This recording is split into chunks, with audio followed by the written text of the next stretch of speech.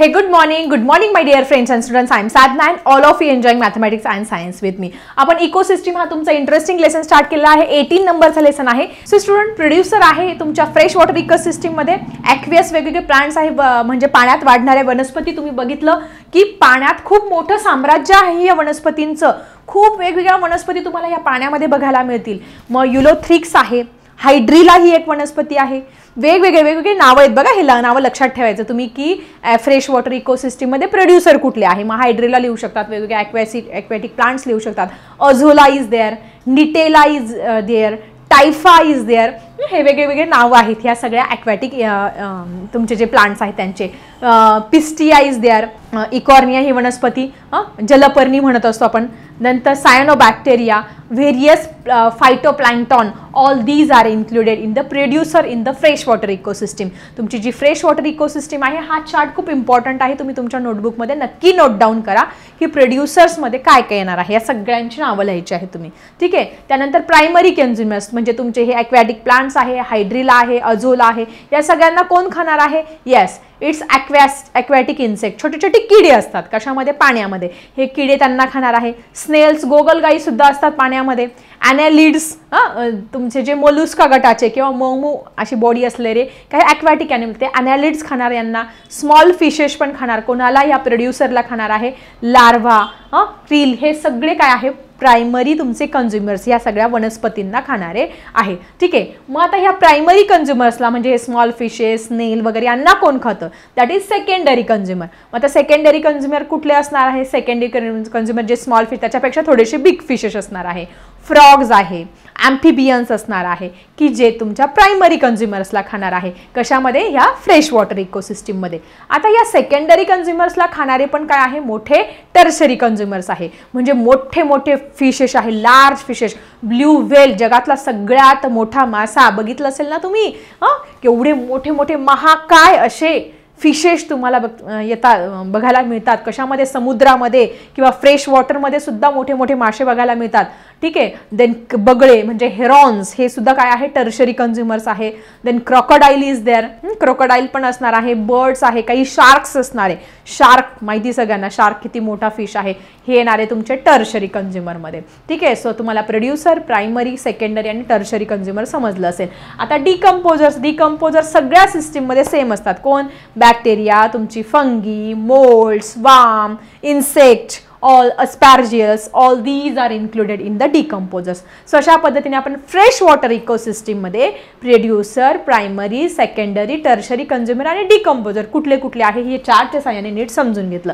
तुम्ही तुमच्या note note नोटबुकमध्ये नक्की नोट डाऊन करा आणि खूप इम्पॉर्टंट आहे हे एक्झामसाठी त्यानंतर आपण नेक्स्ट आपली इकोसिस्टीम ॲक्वॅटिक इकोसिस्टीममध्ये नेक्स्ट इकोसिस्टीम बघणार आहोत मरीन इकोसिस्टीम ओके समुद्रात. असणारी जी साम्राज्य आहे समुद्रा समुद्राच्या खाली तळाखाली अनेक वनस्पती अनेक प्राण्यांचं साम्राज्य आहे.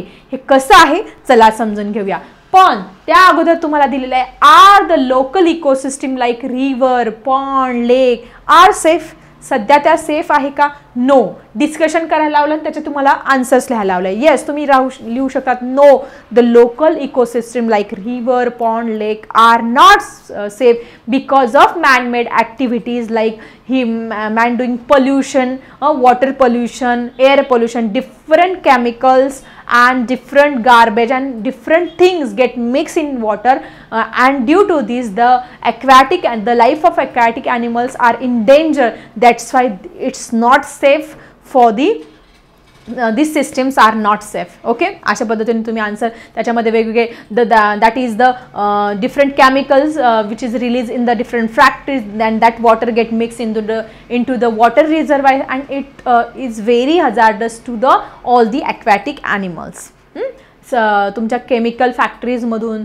वेगवेगळ्या इंडस्ट्रीजमधून बाहेर पडणारं जे दूषित पाणी आहे ज्याच्यामध्ये कॅडमियम आहे निकेल आहे तुमचं शिसं आहे हे सगळं त्या प्राण्यांच्या शरीरावरती म्हणजे जे पा तुमचे पाण्यात राहणारे फ्रेश वॉटरमध्ये राहणारे जे प्राणी आहे त्यांच्या बॉडीमध्ये जाताना त्यांचा मृत्यू होत असतो. त्या वनस्पतींवरती पण परिणाम होत असतो. त्याच्यामुळे हे सगळं सेफ नाही आहे लोकल इकोसिस्टीम बिलकुल सेफ नाही तुम्ही तुमच्या मनाने सुद्धा या प्रश्नाचा आन्सर हे लिहू शकता. चला बघ चला बघूया आपली मरीन सिस्टम इकोसिस्टीम म्हणजे या समुद्राखाली काय आहे इकोसिस्टीम या समुद्राखाली कुठल्या कुठल्या वनस्पती आणि प्राण्यांचं साम्राज्य आहे? चला समजून घेऊया. पुढची आपली इकोसिस्टीम आहे मरीन वॉटर इकोसिस्टीम समुद्राच्या खाली अनेक वनस्पती आहे अनेक प्राणी आहे. तुम्ही जर जापान देश बघितला तर या जापान देशमधले लोक जे आहे ते मिनिमम प्रत्येक व्यक्ती जो आहे तो शंभर वर्षाच्या वरती जगत असतो. कारण की ते खातात सी फूड सी समुद्राखाली ज्या वनस्पती वाढतात समुद्रामध्ये जे जे फूड आहे ते फूड जास्तीत जास्त खात असतात ते त्यांच्या बॉडीला सूट होत असतं. त्याच्यामुळे त्यांचं जे लाईफ स्पॅन आहे ते लाईफ स्पॅन जास्त आहे म्हणून मरीन इकोसिस्टीम खूप इम्पॉर्टंट आहे सगळ्या देशासाठी आणि सगळ्यांच्या आरोग्यासाठी सुद्धा. So marine plants grow in this ecosystem या इकोसिस्टीममध्ये वेगवेगळ्या प्रकारचे मनी मरीन प्लांट जसं आपण पालेभाज्या वगैरे लावतो तसं मरीन सुद्धा प्लांट्स असतात की जे आपल्या बॉडीसाठी खूप न्यूट्रिशियस असतात आपल्या बॉडीला खूप जास्त प्रोटीन्स फायबर्स हे सगळं प्रोव्हाइड करत असतात. शॅलो वॉटर आहे जिथे उथळ पाणी आहे it contains small fishes and prawns feeding on the algae तुम्ही शॅलो वॉटर जिथे उथळ पाणी तिथे तुम्हाला अल्गी ही अल्गी सगळ्यांना माहिती आहे शेवाळा बघायला मिळेल. त्या शेवाळ्याला कोण खात असतं? तुमचे जे प्रॉन्स असतात झिंगे माहिती सगळ्यांना. प्रॉन्स आणि तुमचे स्मॉल फिशेस त्यांना खात असतात. And this prawns feeding on the algae and the central part of the any ocean or sea has less number of aquatic animal central पार्टला जर गेले शॅलो पार्टला तुम्हाला फिशेस प्रॉन्स आणि अलगे सगळं बघायला मिळेल. आणि सेंट्रल पार्टमध्ये there is less amount of aquatic animals मधल्या पार्टमध्ये तुम्हाला जास्त ॲनिमल्स बघायला मिळणार नाही. Okay the large fishes are in secondary consumer in this ecosystem जे लार्ज फिशेस आहे ते काय आहे तुमचे सेकंडरी कन्झ्युमर आहे. प्रायमरी कन्झ्युमर्स तुमची अलगी अलगी वगैरे हे काय आहे? तुमचे प्रायमरी कन्झ्युमर्स तुम्हाला ऑलरेडी सांगितलं आहे. Then next one ocean has a large amount of nutrients हां ओशनमध्ये काय खूप सारे न्यूट्रियंट्स आहे की जे आपल्या बॉडीसाठी सगळ्यांच्या बॉडीसाठी खूप इम्पॉर्टंट आहे. And the bottom of the sea has number of decomposer खूप जास्त डिकम्पोजर असतात सो मरीन वॉटर इकोसिस्टीममध्ये तुम्ही लिहू शकतात marine plants like are grown in this ecosystem then shallow water contains the algae prawns and small fishes on that small fishes there is a secondary consumer that is big fishes dependent uh, at the uh, middle part of the sea there is less amount of aquatic animals at the bottom part of this ocean you can see the large amount of decomposers which decomposes the dead animals and plants in the ocean ठीक आहे primary consumer तुम्हाला सांगितलं insect आहे snails आहे annelids आहे small fishes आहे यांना खातं तुमचे बिग फिशेस वगैरे बिग फिशेसला खातात तुमचे टर्चरी कंपनी म्हणजे शार्क्स वगैरे असतात किंवा तुमचे ब्ल्यू वेल्स वगैरे असतात. हे मरीन इकोसिस्टमविषयी तुम्ही लिहू शकतात. So student dead bodies of plants and animals waste material are decomposes by bacteria or the decomposes which is present at the bottom of the sea so अशा पद्धतीने आपण फ्रेश वॉटर इकोसिस्टम बघितली marine water ecosystem बघितली आणि third तुमची दिली आहे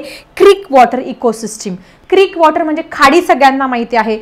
जिथे जे बंदरं वगैरे असतात तिथे जे नाव किंवा होड्या ज्या आहेत तिथे थांबत असतात. मग या खाडीच्या आसपासच्या इलाख्यामध्ये सुद्धा एक इकोसिस्टीम तयार होत असते. ठीक आहे? तिथले पण म्हणजे तुमचं फ्रेश वॉटर इकोसिस्टीम आहे मरीन वॉटर वॉटर इकोसिस्टीम आहे पण तुमच्या ह्या खाडीच्या इलाकामध्ये तुमचं फ्रेश वॉटर पण एकत्र येतं आणि तुमचं मरीन वॉटर कधी कधी ठीक आहे? म्हणजे तुमचं गोडं पाणी आणि खारं पाणी एकत्र येऊन ही नवीन इकोसिस्टीम तयार झाली आहे की ज्याला आपण क्रिक वॉटर इकोसिस्टीम असं म्हणत असतो. मग तिथे पण प्र तुमचे वेगवेगळे फिशेस तुम्हाला बघायला मिळतील ॲक्वॅटिक ॲनिमल्स बघायला मिळतील ॲक्वॅटिक प्लांट्स बघायला मिळतील. तिथे पण तुमचं सेम आहे तुमचं primary consumer secondary consumer tertiary consumer consumer आणि तुमचे डिकम्पोजर्स हे? सगळे सिस्टीम तुम्हाला या कशामध्ये? क्रिक वॉटर इकोसिस्टीममध्ये बघायला मिळतील. त्याच्याविषयी अजून इंटरेस्टिंग इन्फॉर्मेशन तुम्हाला पाहिजे असेल तर तुम्ही गुगलवरती जा सर्च करा आणि क्रिक वॉटर इकोसिस्टीम काय आहे नक्की जाणून घ्या आणि त्याची डिटेलमध्ये इन्फॉर्मेशन लिहा तुमच्या नोटबुकमध्ये आणि ती जर डिटेल इन्फॉर्मेशन तुमच्याकडे अजून असेल तर ती नक्की कॉमेंटमध्ये टाका. म्हणजे तुम्ही नक्की क्रिक वॉटर इकोसिस्टीम ही सर्च केली आहे हे मला समजेल. नक्की मला मेसेज करा की क्रिक वॉटर इकोसिस्टीम नक्की काय आहे.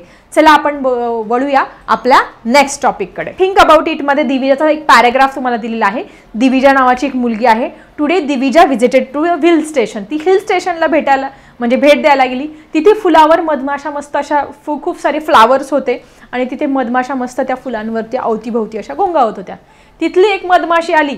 दिविजेच्या जवळ आली तिच्या आजूबाजूला अशी फिरायला लागली आणि तिच्या हाताला तिने जोरात असा डंक केला खूप असं चावली ती. आणि मग तिला खूप राग आला ती रडायला लागली. She said with angrily and said that they all the honey bees from whole world must be destroy म्हणजे या जगातल्या सगळ्या मधमाशा नष्ट होऊ दे असं तिच्या तोंडातून शब्द बाहेर पडला. आणि शब्द बाहेर पडल्यानंतर तिला वेदना होत होत्या. मग तिथे तिने ते झाडाखालची थोडीशी माती घेतली ती लावली आणि नंतर तिने विचार केला खरंच तर खरंच काय होईल? जर या जगातल्या सगळ्या मधमाशा नष्ट झाल्या तर नक्की काय होणार आहे?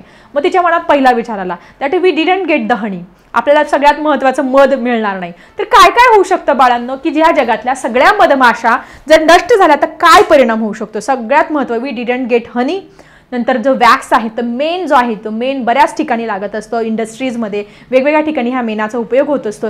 हे वॅक्स आपल्याला मिळणार नाही. Next one most important factor that is honey bees carry out the pollinate pollination process poly तुमचं जे फुलांमध्ये पॉलिनेशन होत असतं जे परागकण आहे परागीभवन करून आणण्याचं काम कोण करत असतं? Most important thing that is honey bee carry out the function of pollination which is very important for the nature नेचरमध्ये हे पॉलिनेशन घडून आणणं खूप गरजेचं आहे. जर हे पॉलिनेशन घडलं नाही तर फेमिन लाईक कंडिशन होऊ शकते. दुष्काळासारखी परिस्थिती होऊ शकते. दुष्काळामध्ये सगळं कसं नष्ट होत असं तसं हे पॉलिने पॉलिनेशन जर झालं नाही तर नवीन उत्पत्ती कशी पद कशा पद्धतीने होणार आहे झाडांची किंवा ह्या वेगवेगळ्या फुलांच्या झाडांची उत्पत्ती ही नवीन त्यांची बीज तयार होणार नाही आणि नंतर नवीन फुलझाडंसुद्धा येणार नाही. सो पॉलिनेशन प्रोसेससाठी आपल्याला ह्या हनी बीज असणं खूप गरजेचं आहे.